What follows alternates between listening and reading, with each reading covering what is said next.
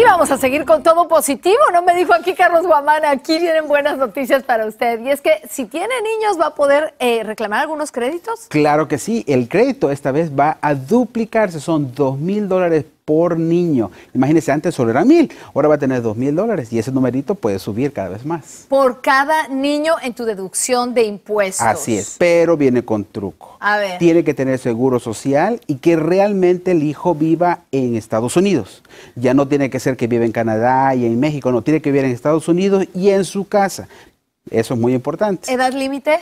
Edad límite que pase de 14 para abajo. Ok, de 14 para abajo. Sí, pero tiene que comprobar que realmente vive y eso quiere decir que tiene que dar al preparador de impuestos documentación como el récord del doctor, el récord de la escuela, para que compruebe que sí vive ahí. ¿Y si el niño ya está más grande de 14 años, ya no lo puedes deducir? Sí se puede deducir, pero ahora le van a dar 500 dólares. no solamente un niño, también puede ser cualquier persona que viva en su hogar y entonces le van a dar 500 dólares, así sea el tío, el primo, el vecino que vive en su casa ese le van a dar 500 dólares, pero siempre y cuando vive en su hogar. Y que tenga número de seguro social. Que tenga seguro social o también ITIN. Pero también viene otro truco. No tiene que vivir en México ni tampoco en Canadá, porque antes eso sí se podía poner. Si vivía en México, Estados Unidos, en Canadá, podía tenerlo. El detalle es que tiene que vivir en su hogar. Si ahora no vaya a poner que tiene los dependientes en México porque no va a calificar. No van a calificar ahora. Ok, crédito tributario por el ingreso del trabajo. Eso ayuda muchísimo para las personas que están trabajando. Eso quiere decir para las personas que no ganen mucho ingreso.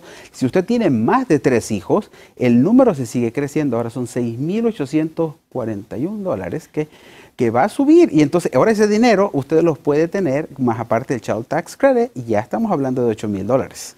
Wow. entonces, Estas son puras buenas noticias para las que tienen familias grandes. Ahora la deducción estándar. Eso también para las personas. Ahora, si usted renta y usted no tiene un hogar donde usted está pagando un mortgage, entonces va a ser 24 mil dólares para una familia que tenga, que sean casados y que tengan hijos. Entonces esos 24 mil dólares va a pagar menos de impuestos más el crédito de los niños, más el crédito del trabajo, entonces usted va a ver un reembolso bastante grande. Y del tío que vive ahí también, o de la abuelita que vive ahí también. Entonces, siempre y cuando todos vivan en el mismo hogar y tenga el comprobante. Si usted no tiene el comprobante, se va a meter en serios problemas. No ponga dependiente de alguien más, porque si no les va a tocar pagar mucho dinero. Ah, la multa por mentir es gravísima. y, y, esta multa no solamente se la van a poner al que prepara los impuestos, sino también al que firma que ese es usted. Entonces, la multa va para los dos. Mucho cuidado con eso.